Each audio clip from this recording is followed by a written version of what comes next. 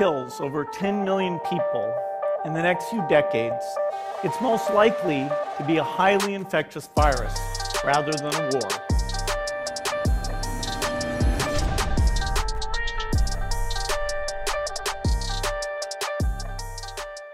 After my last video on a coronavirus, we um, I read a lot of the comments and I noticed a trend on there about various conspiracy theories that were getting posted in the comments. Things like uh, coronavirus wasn't real, things like 5G, Bill Gates, um, governmental control, all these sorts of things. So I thought over the next few weeks I will start doing a series and actually dissecting every one of these. I've you know been you know researching and trying to find out the most information about each one of these topics as I, I could, and you know uh, COVID versus flu and all these sort of things. So that's what we're going to be working on the next few weeks. And so the first one today we're going to be talking about is the uh, Bill Gates thing because that has been a very popular one, and I thought we'd address that one first. So Bill Gates, I think the reason you know why he's kind of popped up in this is he has been an advocate for pandemic preparedness for years, and even at a TED Talk in 2015, where he actually uh, I think so. That's where this kind of started from. Some things he had said at that point in time, and his being being an advocate. So, in that TED talk, he states that uh, you know you can have a virus where people will feel well enough while they're infectious, and they get on a plane or they go to the market, and that sounds like COVID nineteen, right? So, people automatically think, well, he kind of predicted the future, you know, or he just got lucky. So then um, you know, a lot of things link up. So one one thing I will say, people say Bill Gates and 5G.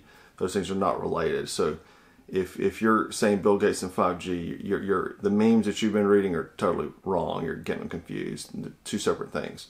So the Bill Gates, um, now there you'll hear about some event 201, and so according to uh, factscheck.org, there was um, actually an event or exercise called uh, Event 201 that took place in October. It was hosted by John Hopkins Center for Health and Security, which the Gates um, Foundation participated in, and that focused on emergency preparedness in the event of a very severe pandemic.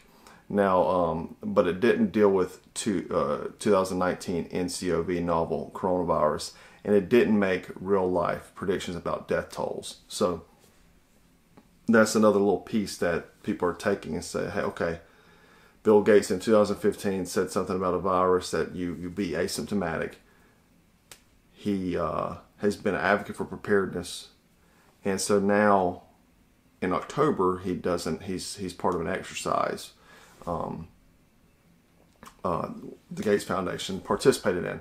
So these are little nuggets that people take. And this is how conspiracy theories happen, you know. Um, so then if you look at that though, so in that in that event 201, they used the term coronavirus. Now, coronavirus is an umbrella term, and it's not necessarily the you know the the COVID nineteen coronavirus was actually even on Lysol cans. If if you know you saw those memes also pop up on the internet, and people were saying, "Oh, the coronavirus," well, because it's kind of an umbrella term.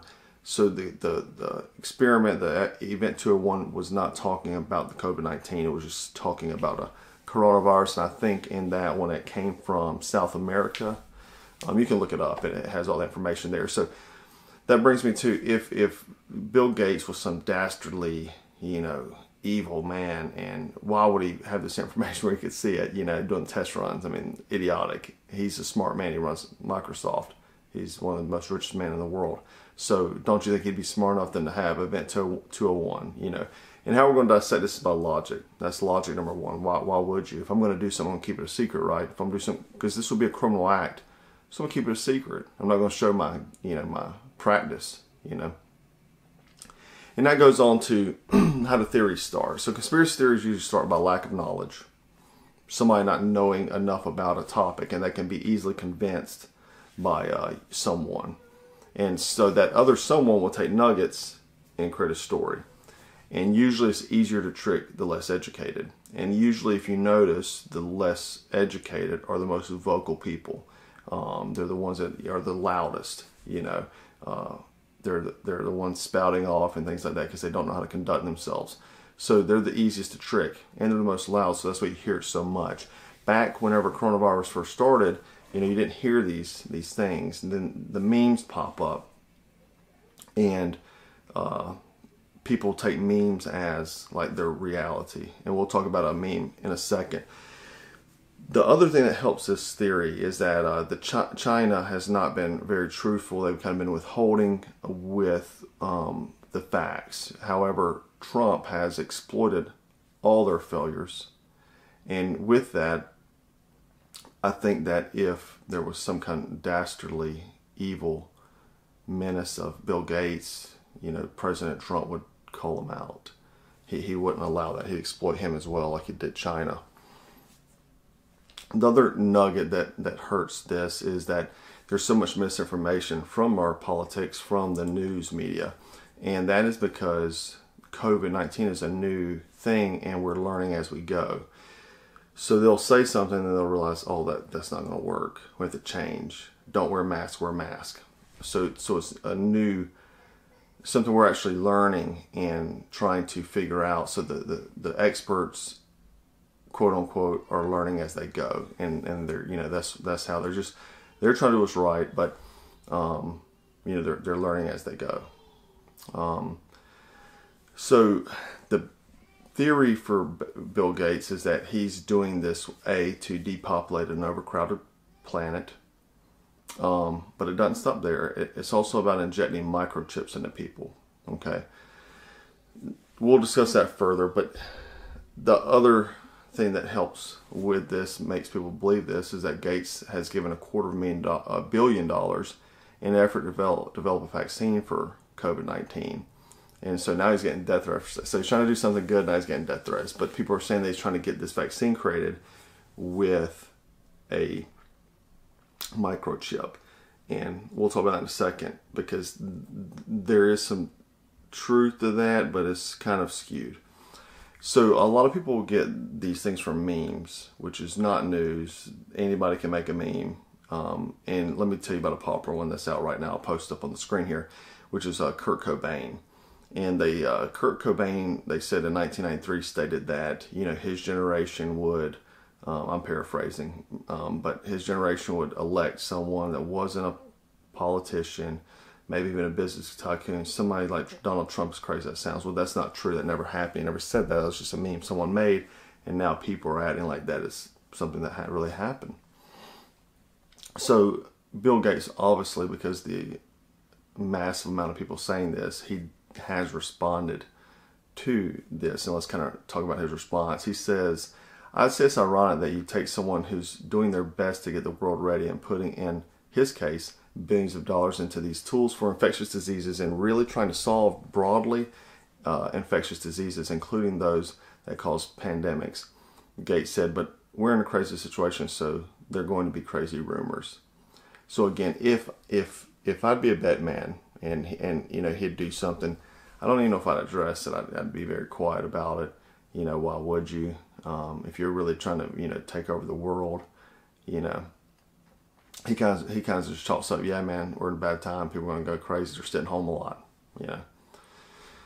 So microchip, ID 2020 is brought up a lot. Now, ID 2020 is a nonprofit, and basically they're talking about creating a digital ID. That's what their focus is. And now Microsoft is a founding partner, as well as Gavi, which is uh, funded by Bill Gates um, as well. But there's also uh, 13 other founding partners that are not related. So he's not like the owner of ID 2020, nor is he CEO.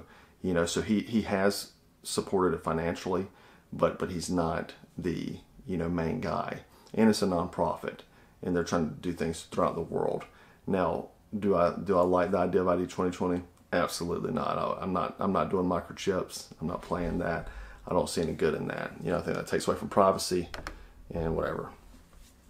So then, you know, uh, Gates. This also hurts the or helps the uh, conspiracy theories that he mentioned something about a digital certificate for those who recovered to COVID 19. So if you're traveling, you've got a digital certificate saying, "Hey, I had it. I got the vaccine," to try to stop the pandemic.